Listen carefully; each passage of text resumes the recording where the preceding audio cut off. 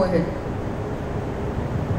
Uh, my name is Rupinder Singh and uh, I had founded a biotech company which now I have got invested inside.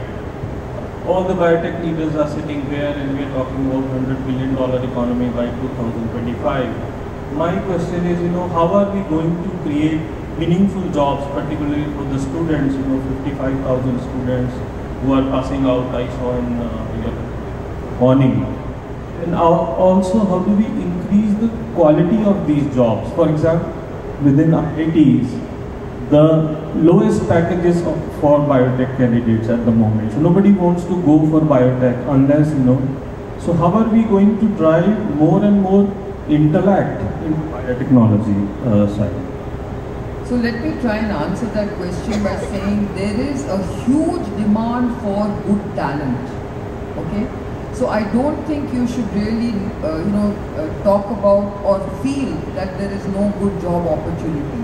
Today I think biotechnology and bioscience are paying top dollar for their talent. But you're right, it has to be the right talent. Now, I think there is a case to be made of relevancy in education and training, which I think IITs also have to grapple with because it's not just churning out some curriculum. It has to be well uh, choreographed. You have to really think about designing that relevant curriculum to make them that high talent.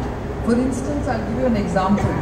We have created the Biocon Academy and we are actually giving, it's a finishing school for, for this 55,000 uh, graduates that are coming out of universities. But they are being shaped in an intensive way and let me tell you, the kind of jobs they are getting definitely is, is, is not what you're talking about. They're getting really good high-end jobs. So I think it is for uh, universities and training uh, colleges to really relook at their curriculum and make sure that they are relevant and contemporary. Yeah. And just one more point, you know, same with the VCs, you know, when I was trying to raise uh, money for my venture, so most of the VCs used to say that, you know, uh, biotech is one area we really don't understand, long gestation period. So I had real difficult time in uh, uh, raising capital, though I was successful at the end. But how do we more it more and more, you know, uh, entrepreneur friendly uh, in the country? See, I can I can give you one example on this because I have been permanently perpetually, forever fundraising. Okay, so I'm one of those persons, more than science for past 35 years, I've been fundraising all my life. So I can give you one gyan here. So for the past 15, 20 years, somehow this is a cliche sentence that we all hear, that the VCs don't understand biotechnology.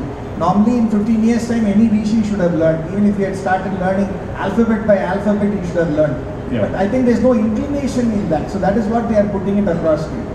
So here nobody is in that 15 year, 20 year league at all. Most of the funds are 8 years, 7 years.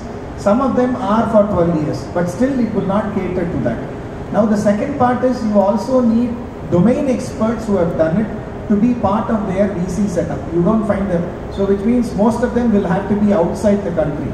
And I don't understand why they will be investing into an Indian company here. And that's one of the reasons some of the more promising companies flip into the other side of the world.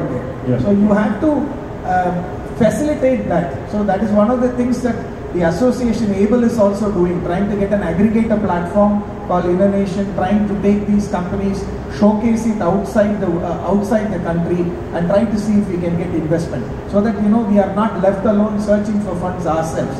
So the association is also coming forward to bunch all these people and take them abroad, showcase them, and try to give them a, a spotlight.